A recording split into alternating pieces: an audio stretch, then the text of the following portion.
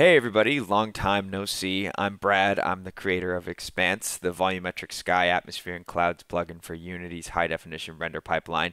And welcome to my apartment at 11 o'clock on a Sunday. This is pretty much the only time I could find to make this video and actually sit down for an hour and, and, and get it all sorted out. Um, but the gist of it is that uh, Expanse 1.5 should have released by the time that this video comes out. And uh, and you know if if you're like most people, you'll probably upgrade from 1.4 and notice that a bunch of stuff is different. Um, and I want to make this video to highlight some of the cool new features that I think uh, are really interesting about 1.5, and and hopefully it'll help you to navigate uh, the changes that have been made. Um, because there's there's a lot of them. Uh, but I hope that most of them either make things easier, make things more performant, or make things look better. Um, so yeah, let's just let's just jump right in. So yeah, here we are in Unity. I think I'm using 2021.2. Yeah, 2021.2. Um, and uh, I just have this this uh, nature pack here. It's called Real Landscapes. It's really great.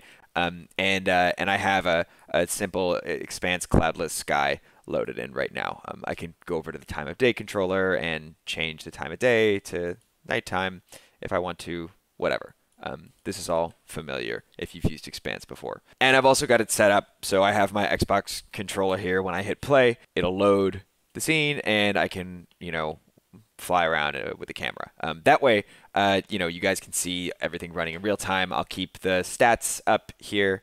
I'll be running in VSync mode, so the frame rate will just lock to 60 FPS. Um, but yeah. So I figure we'll go maybe from easy to complex or something. So the first feature we'll talk about is going to be something easy, and then we'll go further and further into more and more complicated stuff. And by the time we talk about the last feature, maybe I'll talk about five or six of them. It'll be something that's a little bit tougher to digest, but hopefully will still be useful. So the first one that I want to talk about is a pretty simple one. It has to do with how Expanse renders fog. Uh, it, you'll notice that if you you know take one of Expanse's uh, screen space height fog or screen space uniform atmosphere layers, and you increase the density, uh, and you have the physical lighting checkbox enabled, um, then you'll see that it you know darkens everything appropriately. Things look kind of blue and gray, and it, it generally looks pretty good. Um, uh, the thing is that this physical lighting checkbox used to make things more expensive, um, and it, it still does. It's it's more expensive to use the algorithm that the physical lighting checkbox uses as opposed to just the other algorithm. Uh, but new in Expanse 1.5 is that the approximate algorithm that is more you know performant uh, looks pretty much exactly the same as physical lighting, and that's due to a new approximation. So this is with it off, and this is with it on, and they look exactly the same. Um, and so it's really easy now to uh, to just blanket your scene in, in volumetric fog that looks like it's path traced, but is really secretly under the hood um, a lot more performant and efficient. Update number two has to do with how you create Expanse game objects. Uh, it used to be the case that you would have to go over to the game object hierarchy and click create empty, uh, and then go over to add component and add the script that you want um, but now, actually, uh, due to a little bit of editor work, uh, you can just right click and there's a menu called Expanse, and it has all the different components that you need uh, to to interact with Expanse. Um, so, for instance, if I want to create a, uh, a procedural cloud volume, I just go Expanse, Advanced Procedural Cloud Volume, and there we go. And that brings me into update number three, which is the Cloud Preset Browser. This is a new part of Expanse's UI, uh, the procedural cloud volume, the cloud plane, the texture cloud plane. Um, all of these uh, now have this browser here that allows you to scroll through different presets. You can see what they look like, and you can load them, and uh, and they'll load right into your scene. Um, you can also save your own presets. So let's say that I went to this one and I did some stuff to make it look a little bit different. Uh, and then I decided to save it. Um, I can go and I can position my camera however I want. And if I go back to the cloud volume, go to the preset browser, and I hit um, save preset, I can save it. Uh, I can just call this test preset. I can hit save. And now if I refresh the preset library, which takes a second. Uh, and then scroll down, you can see test preset is here, and it takes a screenshot of the currently rendering camera uh, and uses that as the image. So yeah, I can go back in, I can load that one, and then I can load the test preset that we had before um, that we just saved out. Feature number four is one that people have been asking for for a while, and I'm really excited to finally be able to say that Expanse 1.5 has it, and it's the ability to apply custom post-process effects to cloud layers in an arbitrary order, arbitrary number of them, to make them look more stylized uh, and to help them better fit your artistic vision. Um, and it's very easy to get started with these. You pretty much go over to your cloud volume, and you'll notice that there's a section labeled post-processing. If you open this up, you'll have a list of custom post-process passes, and you can hit plus here, and it'll give you um, a slot for an iCloud post-process pass. And this is uh, a C Sharp script that uh, you can write to do whatever you want. It will uh, to to the cloud frame buffer. It'll pass you the the opacity like the alpha frame buffer and the color frame buffer. You can do whatever you want to it, and then it'll uh, and then it'll uh, it'll render it onto the screen. Um, but not everybody wants to do that. Not everyone wants to implement their own. Hopefully, we can crowdsource some of these. But to get people started, I've implemented a couple of examples. Um, one that's really simple is just a recolor pass. So this will recolor the clouds whatever color you want. Uh, it can be useful for just sort of tinting them, like if you wanted to tint the clouds, I don't know, maybe slightly yellow, uh, I think looks kind of cool, or slightly orange. Um, and of course, there's a rainbow mode. I had to do that. Pride Month was a while ago, but you know, whatever. There's also a Kuwahara effect, which is a sort of simple painterly shader.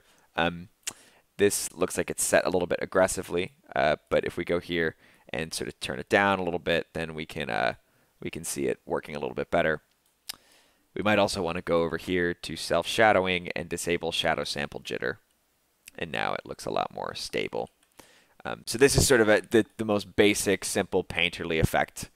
Um, you'll also notice that the cel shading parameters are gone from the procedural cloud volume, and this is because that's now implemented as a custom pass. Uh, so you can do cell, cel shading, um, and you can drag these to reorder the the order that they get applied in. Um, so here, if we do cel shading again, and come over here, we can control how smooth it is. We can say how many bands we want. Um, and then finally, uh, there is an alpha overlay pass. Um, and what I have right here is one set up just to use simple brush strokes. Um, you can say, you know, change a couple parameters, how much the overlay affects it, what the overlay gets clamped to. Um, and the end result, I think, is that you can create some pretty cool looking stylized clouds. Update number five is is kind of a small one, but is a little bit technical, so I wanted to save it uh, for for later in the video. Um, and that is the fact that all Expanse cloud presets are now serialized as Unity scriptable objects. Uh, this is something that Discord user Otter Otter and Aromatic Okapi were sort of fighting vehemently for, and eventually they convinced me that it's the better thing to do. I think they're totally right. They know way more about Unity than I do, and uh, and the decision I think was a really good one.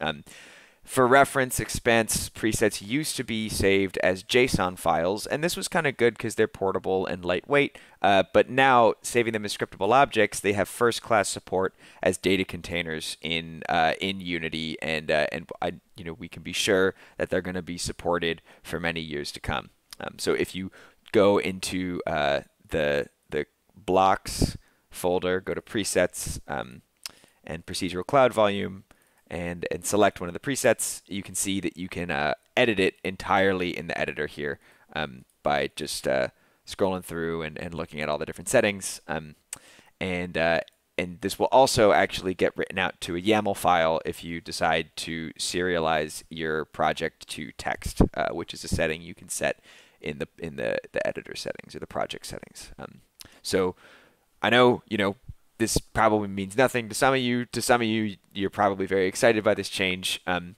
but uh, but that is what Expanse does now for serializing presets. Update number six has to do with modeling cloud density fields. Um, and it was kind of inspired by me looking at a lot of different reference photos and trying to uh, update the cloud modeling tutorial that's on the documentation page. Uh, in particular, you know, I would look up something like cumulus clouds, um, and I would look at the clouds, and I, sort of noticed that oftentimes, like the bottoms of the clouds are are are darker and a little bit wispier than the top of the clouds, which look you know a lot more solid and dense. Um, and and this isn't always the case, but but frequently there's just sort of these differences in in the density and in the shape of the cloud over the the height of the of the the sort of cloud volume.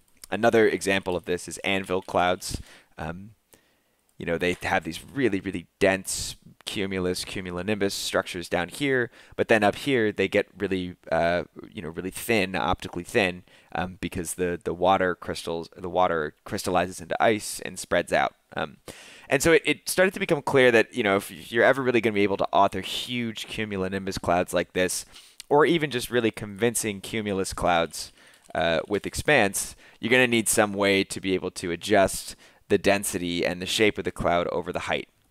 And the best way to do that, I thought, was to use animation curves to be able to change the density and the coverage over the, uh, the, the height of the cloud volume. So to give you a sense of what this looks like, if we open up the density animation curve and we drag this over here, you'll see that the, the density is, is now high at the bottom of the cloud. And if we drag it to the right, then you can see that the density is lower for longer. Um, and, and, you can just sort of mess around with this and, and get different results. Um, I think it looks best when you sort of have it uh, a sharp fall off that starts a little ways up. That way you get the wispy bottoms, um, but and then and then transition to the denser tops. Um, and similar, similarly, you can do this with the coverage uh, to change the shape of the clouds. Um, so if we bump this up, then they're not quite surrounded at the top. They're taller. If we bump this control point down, they round more, and you can sort of change the the spline parameters to get different uh, different looking shapes.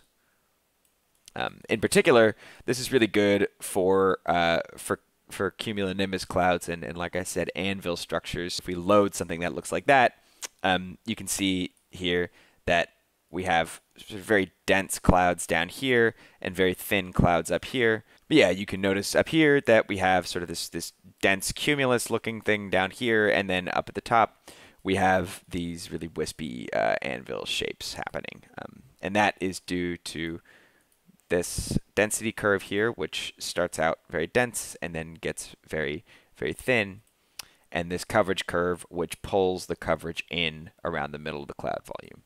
Um, and you can see that we can change that here, and it's pretty easy to just make little tweaks. That doesn't look so good. Well, maybe you think it looks good. I don't think it looks that great. but uh, yeah, we can do stuff like that.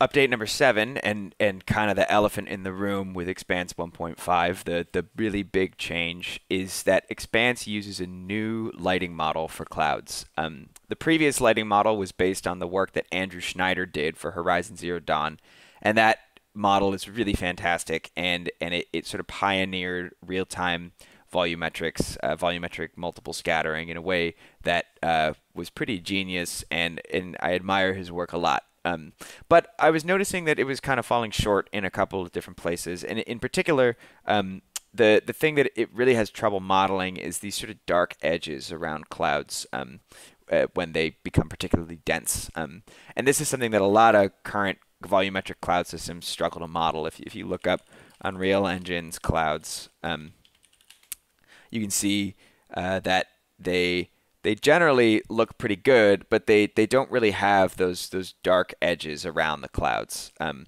they they still sort of look kind of uh, just very very foggy, very flat. They don't have that uh, distinct kind of you know what Andrew Schneider refers to as the powdered sugar effect.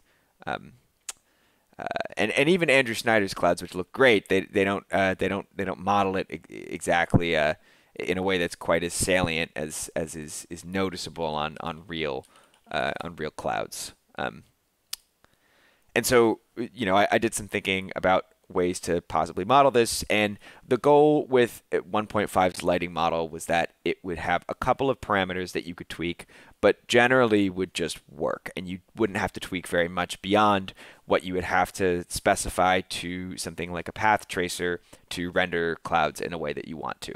Um, so with that said, there's sort of three sections, and one of those sections is the base lighting section. And technically, if you were rendering with a path tracer, if you were rendering with a perfect renderer, this these are the only parameters you would need. So, uh, you know, I tried to keep this as simple as possible, but you have your density, which controls how uh, how dense the clouds are, right? You can keep that pretty low, or if you increase it, then they get more defined shapes. Um, uh, you have anisotropy, which tells you um, how directional the scattering is, and and then you have some parameters around around ambient light and how much ambient light you want to you want the clouds to receive. Um, the other two sections are pretty much uh, approximation sections. They're they're they're self shadowing and multiple scattering. They're they're both uh, sections that have parameters where you can sort of tweak how Expanse's uh, approximation to the real physical rendering algorithm uh, is is is working and and and sort of uh, override them in an artistic fashion. Um, as such, I tried to keep the number of parameters in each of these sections relatively low. Um, so uh, this self-shadowing section, um, there's a bunch of parameters here. That the ones really the only ones that you need to care about um, uh, are are the self-shadowing checkbox. If you disable that, then all self-shadowing effects will go away, and if you if you re-enable it, then then they're back. Um, and then shadow persistence is the other one to care about here. And this is basically just how intense the shadows are that the clouds cast on themselves. Um, if it's higher, they're darker. If it's lower, they're brighter. And then the other foldout here uh, is the multiple scattering foldout. Uh, and this basically controls uh, how much light scatters around in the cloud uh, that is coming from secondary, tertiary, you know, bounces that happen uh, at multiple orders of scattering. Um, that again, usually, you know, this would just happen in a path tracer. Your renderer, you wouldn't need to tweak anything; it would just look right. Uh, but I have some artistic overrides here uh, so that you can sort of control how you want it to look and how the approximation that Expanse uses works. Um, there's this receptive field parameter. That's the one you really are going to be tweaking most of the time. And it just tells you how much multiple scattering there is. Um, you know, I think that that looks pretty good. Um, and then the other one to, to keep in mind here is, is under this allow non-physical section. And it's the bias. And this will sort of help you, if you increase it, it'll reduce how gray certain spots are and it'll brighten the clouds in certain areas. Um, so I think that looks pretty good right there. But you know, you can play around and, and see what you think. Okay, well there you have it. Seven new features in Expanse 1.5 that I'm really excited about and I wanted to show you guys. Um, if you use 1.5 and you really like it, that's awesome. Stop by our Discord and talk to everybody about it. And if you really hate it or something is going wrong, also stop by our Discord and, and let me know because I want to fix the problems uh, with it. It's a big update there might be some instability for a little while, but soon enough we'll have all that hammered out. I'll pop a link down in the description for our Discord channel. Uh, you can come and check it out if you feel like it. Um, but anyway, I will say for now, thanks for watching, and I hope you have a great day.